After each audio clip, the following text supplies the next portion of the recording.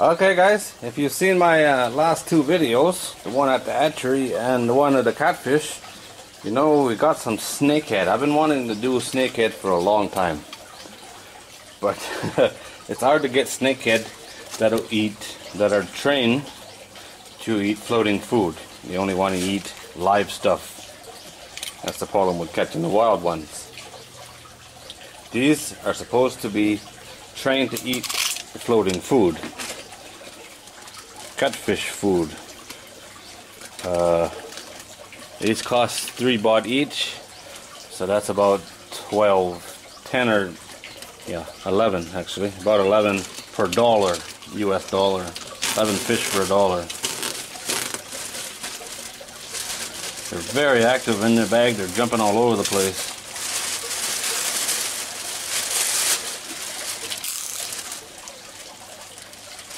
See down in the bag, they look good.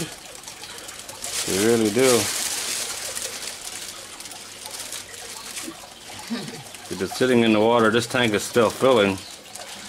This is rainwater right out of my rainwater tank. There they go, there's 100 of them.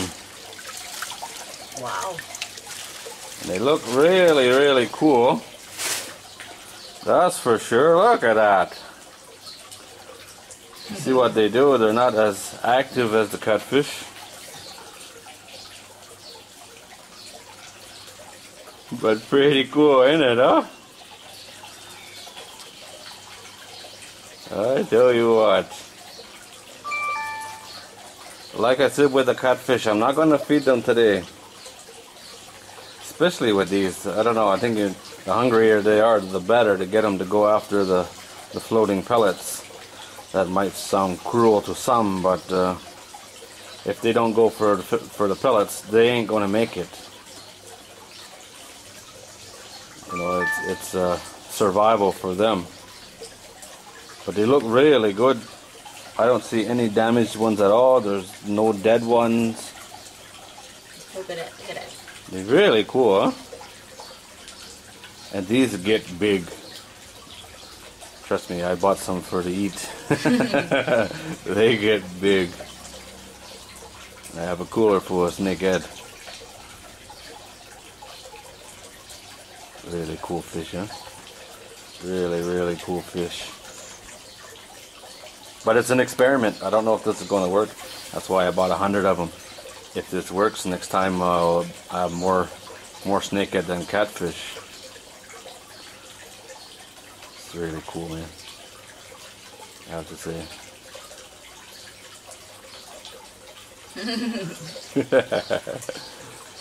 go check out the camera. These guys, they had uh, shrimp and uh, they they sell shrimp, but they didn't have any babies there. They're going to get some.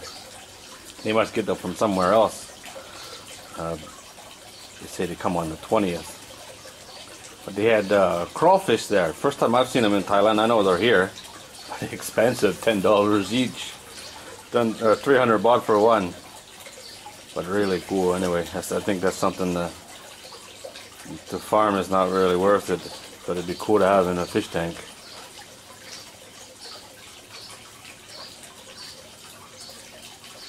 Pretty cool, ain't it, huh? Happy, happy little fish.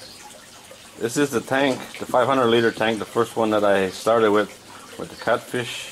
I just had frogs in there, they're gone now. Pretty cool, man, I tell you what. Good water here. Nice water, huh? This is rainwater out of the tank. I know to uh, strain the rainwater now because the debris that settles into the bottom looks really bad in the fish tank. Not that it really matters. It'll just settle here too. Pretty cool. I don't know how long they are. Nearly two inches, I'd say. Inch and a half to two inches.